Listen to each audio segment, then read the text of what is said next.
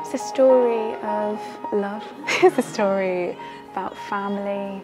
It's a story about finding a woman's place in the world, and I think that transcends um, whatever century you're in, actually. It's based on Little Women, the, uh, the novel, and it's about four young women sort of making their way in the world. We spent an entire year locked down with our loved ones, and this is a piece about resilience and about families living together and trying to fight through um, well, a, a major uh, event.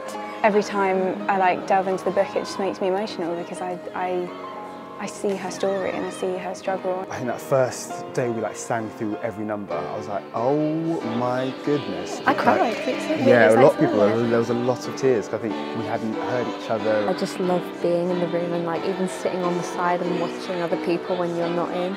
It's just such a, a special feeling.